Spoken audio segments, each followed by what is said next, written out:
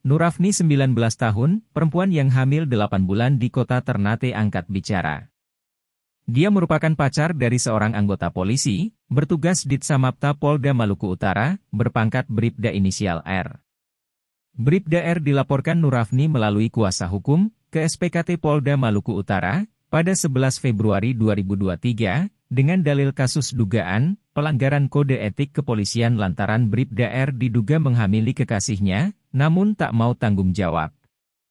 Dia menyebut, laporan yang dibuat lantaran kliennya tidak dapat titik temu atas apa yang tengah dialami. Bahkan koordinasi itu hingga lintas pimpinan, antara Nurafni dan Bribda R namun tetap saja nihil.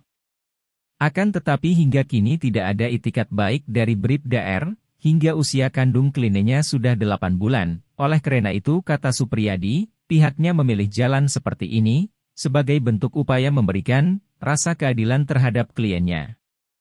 Sementara, Nurafni menceritakan kisah asmaranya, bersama Bribda R, ia dan Bribda R berpacaran pada Juni tahun lalu, usai berkenalan via Instagram. Setelah itu, keduanya bertemu sebanyak tiga kali. Usai pertemuan itu, Nurafni mengaku kepada sang pacar, jikalau dirinya telah hamil. Setelah diberitahu, Bribda R langsung mengganti foto profil sosmednya, bersama wanita lain. Menurutnya, melaporkan Bribda R merupakan langkah selanjutnya, setelah tak mendapat kejelasan. Meski sudah mengambil langkah baik-baik, atau membicarakan masalah ini secara kekeluargaan. Sebagai korban, saya hanya minta pertanggungjawaban, tapi dia tetap tidak mau.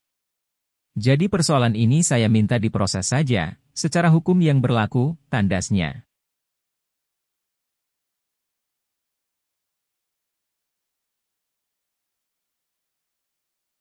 Terima kasih sudah nonton. Jangan lupa like, subscribe, dan share ya.